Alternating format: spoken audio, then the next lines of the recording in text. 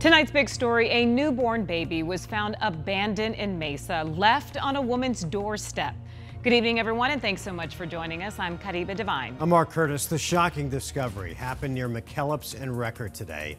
The woman says she found the child a few minutes after someone rang her doorbell. Now, fortunately, the baby is okay, but as Team 12's Adriana Loya explains, the outcome could have been a lot worse.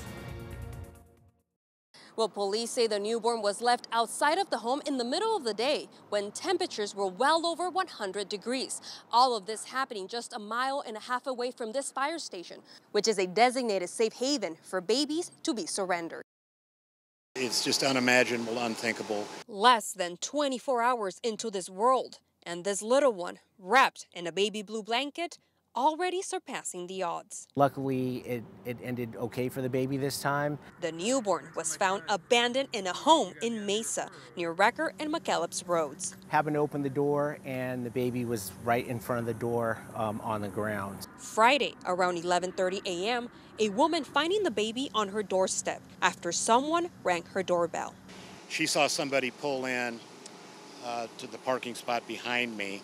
She saw feet that she identified as a woman's feet.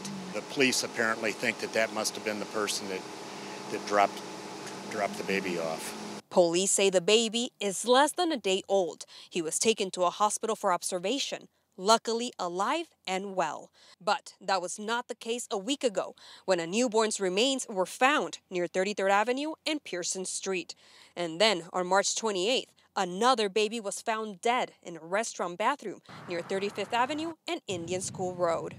By the time that somebody finds them, especially in this heat, uh, it's, it's pretty rare. So we got super lucky today. Darian Gibson is a Glendale firefighter. He volunteers for Safe Baby Haven, an organization that helps people in similar situations. You reach out to us and we can guide you through the whole process. Like the last thing that we uh, will offer is the Safe Haven because we want to make sure that you can be a parent. And if you don't think you can, can we get you into foster care or adoption agencies? And then if if it is a last ditch thing where you need to go and you need to give your baby to us, we'll take it.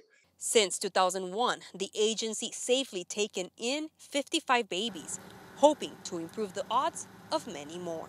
Super blessed that the baby's alive, but we still have a lot, of, a lot more education to do now, police say the newborn has no relation to the woman who found him, but the department hopes that if you have any information, you give them a call.